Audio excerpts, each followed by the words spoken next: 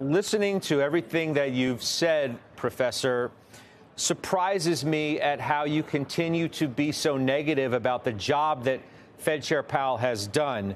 You did a discussion with the New York Fed President, John Williams, and I know you know where I'm going because I just saw the look Yeah. at your face. I saw the look on your face. This was at the Economic Club of New York where you said, you said, quote, Giving Powell a Nobel Prize would be like giving the Nobel Prize to a drunk driver that ran over a pedestrian but got him to the hospital in time to save his life. How can you say that after you suggest the economy is so strong, the market is ripping and from the lows, and we don't need any rate cuts, but yet he, the Fed chair has done a terrible job? How?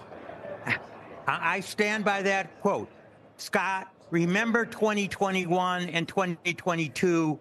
We had an incredible boom, housing market, stock market, crazy speculation, SPACs, NFTs, and everything. Uh, at the same time, the Fed was b- buying mortgage backed securities, keeping interest rates at zero, telling banks and everyone else we're not letting those rates rise.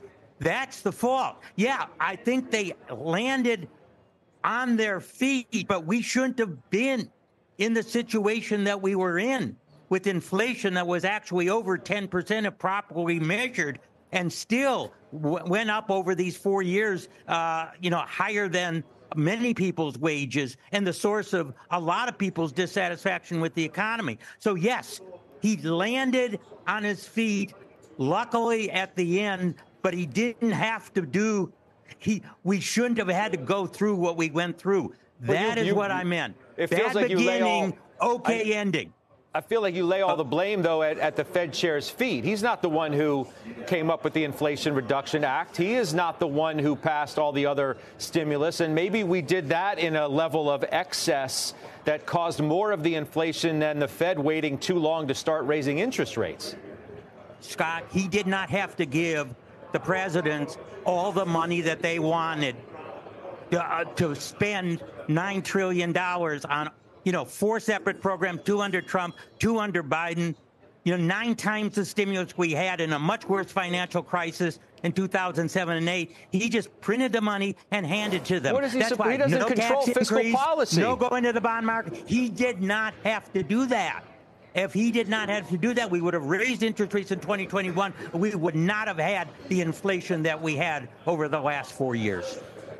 Many people would look at the scenario now and say, you know what, it was a very difficult job that he had. He had to raise interest rates in such a rapid uh, pace, the fastest in 40 years.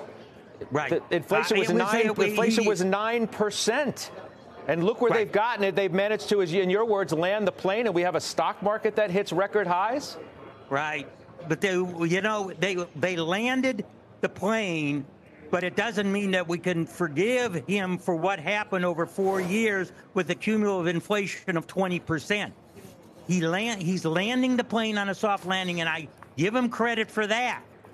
But I certainly am still extremely critical of the Fed in the first two years following the pandemic. Let's look back at the market, uh, which we said, you know, obviously it's had a bit of a turbulent week. And now we're on the cusp of earnings, which are going to have a large decision in where this thing goes from here. What are you expecting? I mean, expectations are down from where they were. We're still looking for 4 to 5% growth in the quarter. But what are your own expectations? I I think that those are right. I mean, what normally happens when you look out on uh, expectation is they come down during the year and then they go below so that firms surprise by a penny or two pennies or five cents on the upside. It's called the hook. So you see them sort of going down over time, and then about a week, two weeks before the uh, announcements, they hit their low, and then we beat by two or three percent, and that's pretty good uh, in terms of looking at uh, at the year over year. It looks like GDP is in the low twos. Uh, you know, the Fed thinks 2.1 for the for the whole year. I actually think it might be even higher than that. Um, so, and you know, in the background, you know, Scott, we we do have AI um, that I think is really over the next 10 years going to raise productivity by 1% or more in the economy.